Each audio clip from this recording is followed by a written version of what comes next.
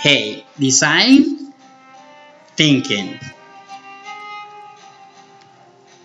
This is the block number seven.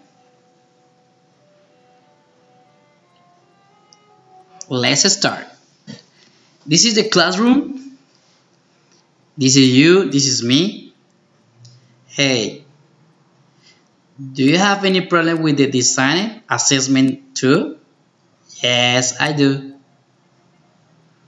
How many tools do you have? Zero tool in your assessment tool, design thinking process.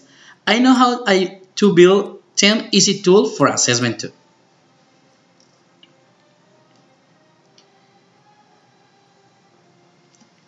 Could I help you? Mm, I'm not sure. Are you sure? Yes, 100%.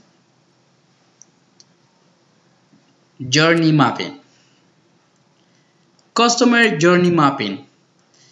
With this tool, you could find what is the customer problem through the flowchart or graphic format. Like this or like this. It's easy to understand the problem. Hey, I have a, a question. Journey mapping the line a clear insight into customer current journey?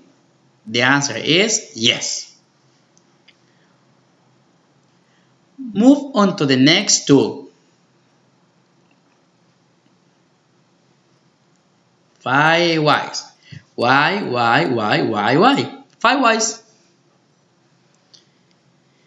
The five whys approach the problem analysis explore the cause of the problem by asking repeatedly why something happened until the root cause of the problem is identified.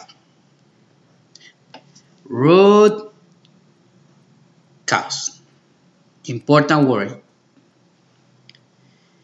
This tool helps you to find the main problem. It's so useful. Sounds easy. What is the next one? Brainstorming. What is brainstorming? Hey, what is that?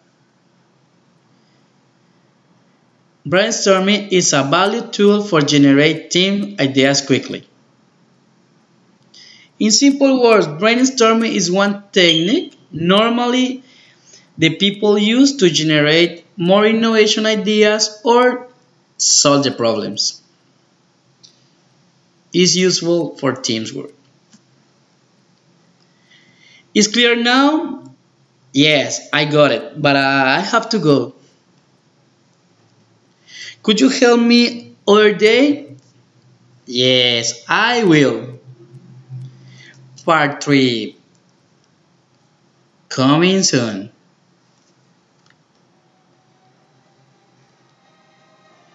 Thank you.